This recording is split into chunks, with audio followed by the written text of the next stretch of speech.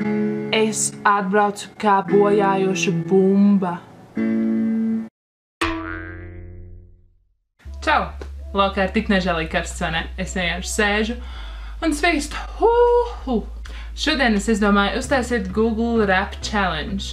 Ja jūs nezināt, kas tas ir, lieliski, jo tas vienkārši man ienāca prātā, ka varētu tā izdarīt. Paņēmu kādu dziesmu, ieliku Google Translate, man iztulkoja, un es to dziesmu mēģinu tās dziesmas ritmā norepot. Šis ir tāds eksperiments, es nezinu, vai man sanāks, es ceru, ka man sanāks. Ja jums šis video patīk, šī ideja patīk, tad spiediet laiku, un es tādu uztaisīšu vēl, ja jums nepatīk.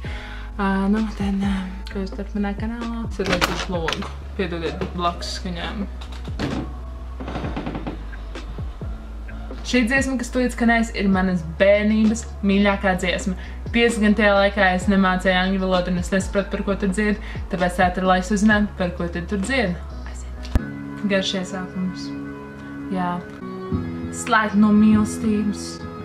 Man nav vajadzīgas sāpes. Vienreiz vai divreiz tas bija pietiekami, bet viss bija velti.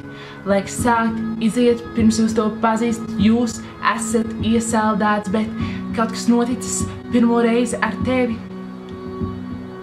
Mana sirds kūs zemē, atrada kaut ko patiesu, un ik viens apskata, domādams, ka esmu traks, bet vien vienalga, ko viņa saka, es esmu iemīlējusies tevī.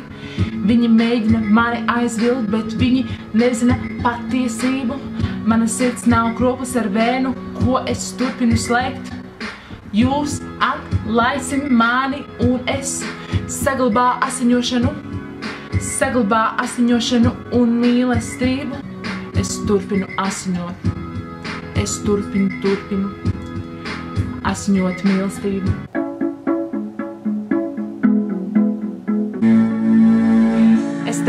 Tevi pacēlu debesīs, un tagad jūs nenākat uz leju. Tā lēnām pagriezās jūs mani iedegāt, un tagad mēs esam pelnu zemes. Vai jūs nekad nesat teicis, ka es vienkārši aizgāju? Es vienmēr, es vienmēr tevi gribēšu. Es tikai neesmu sācis domāt par karu. Es tikai gribēju, es tikai gribēju, lai jūs man atļautu. Un tā vietā, lai izmantotu spēku, es domāju, ka man vajadzētu tevi atļaut. Es tikai neesmu domājis sākt kāru, kāru, kāru. Es, es tikai gribēju, lai jūs man atļautu. Es domāju, ka man vajadzētu tevi atļaut. Vai jūs nekad neesat teicis, ka es vienkārši aizgāju? Es vienmēr tevi gribēšu. Es vienmēr tevi gribēšu. Es atbraucu kā bojājoša bumba. Ha, Sveiks, sveiks, kā tev iet? Man ir tik raksturīgi runāt par sevi, bet kad es vanu jūs, jūs nešķiet mājās. Hello no ārpuses, vismaz es varu teikt, esmu mēģinājis, lai tev pastāstītu, ko esmu nožēlojis par sirds pārkāpšanu. Un tas ir arī viss. Paldies, ka tu noskaties. Es ceru, ka tev patika. Un, ja tev patika, tad spied laiku. Ja tev nepatika, arī nospied laiku. Un tad jau tiekamies manos nākamajos video. Tu vari droši ierakstīt komentārā, kādu video tu vēl vēlies redzēt. Un arī kādas dziesmas varbūt tu vēl vēlies, lai es iztulkoju. Nevis es, bet Google. Jūs sapratāt. Labi, tad jau uz tikšanos nākamoreiz. Atā!